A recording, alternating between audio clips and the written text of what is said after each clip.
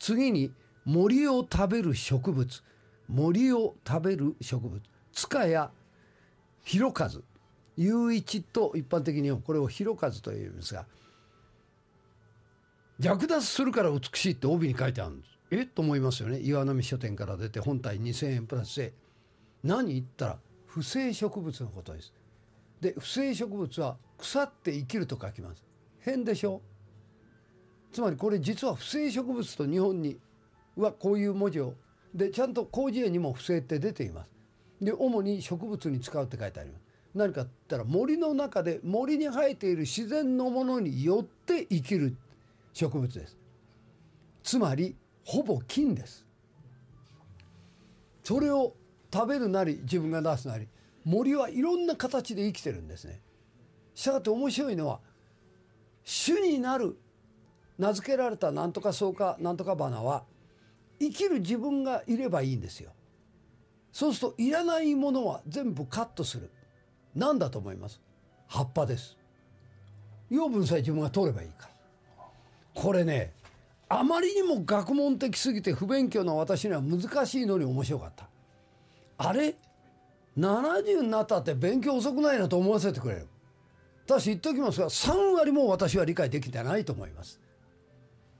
もうもともと不正植物が何たるかという説明もないんですもん。だから探さなきゃなんない。早い話非常に分かっていて読んでんでしょあんたみたいに、うん、不親切です。とても。東京大学その大学院理系学科の研究科にいるというそこを修了して理学の博士になっていてで分子細胞生物学の研究所みたいなところにいるからそれは分からないですよ。でレベルがある程度なきゃ俺の方は分かんないよっていうところでもう終わっちゃってるから分からないです。なのに生き物はただ生き物の形をして生きてるだけではなくてそして自分がどういうことを及ぼすかも関係なく大抵の生き物っていうのは海とか森とかいうものは山もそうですがずっと連鎖していくっていうのは連鎖全然関係ありません。これが面白い。私はひどく面白かったですね。芸人に似てるなと思いましたよ。我々も考えたら浮世の不正動物ですよ。その腐ったところをこちらの生きる糧にしてるってとこありますから。早い話がパクちゃんもハッシーも私も私のしゃべりいらない。歌がなくたって生きていける。